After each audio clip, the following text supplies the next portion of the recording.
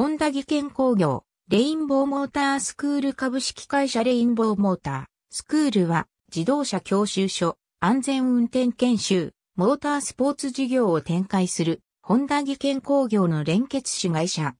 1963年2月にホンダ開発工業自動車部として設立。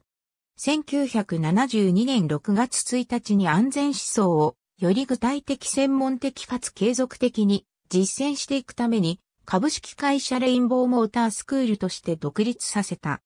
本社、埼玉県和光市下新倉5の27の1、東日本事業部九州事業部資本参加、技術人事交流本社に併設される同社の機関となる指定自動車教習所で単にレインボーモータースクール、レインボーと呼称する場合は和高校を意味する場合が多い。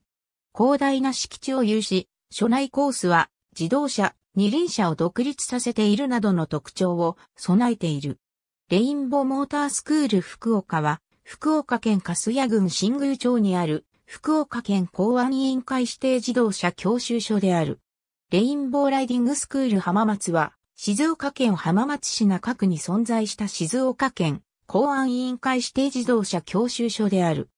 株式会社レインボーモータースクールが運営する二輪車専門の自動車教習所で、交通教育センターレインボー浜名湖とともに、同社の浜松事業部に属していた。